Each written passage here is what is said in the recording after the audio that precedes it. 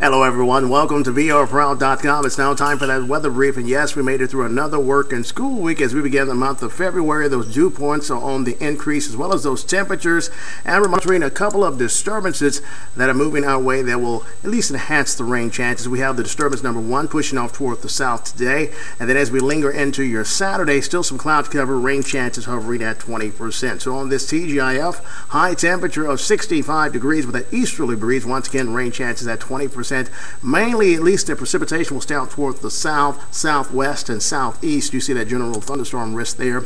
Meanwhile, as we move toward tonight, temperatures will drop down to 51 rain chances, tapering down to 5 to 10 percent. And for the weekend on Saturday, we're at 67, 68, approaching 70 as we travel into your Sunday. And speaking of Saturday, we're under a general thunderstorm risk for the entire area. I'm going to keep those rain chances at around 20 percent. Speaking of rain chances increasing to 50 percent with more disturbance disturbances moving our way for Monday and Tuesday that will continue for the majority of the week. And that front that we were monitoring by about Wednesday into Thursday, it appears it's going to be hung up. Will finally make its way across the area on Saturday. Until then, mild temperatures. For your latest traffic and weather updates, continue to log on to brproud.com, Facebook, Facebook Live, as well as Twitter.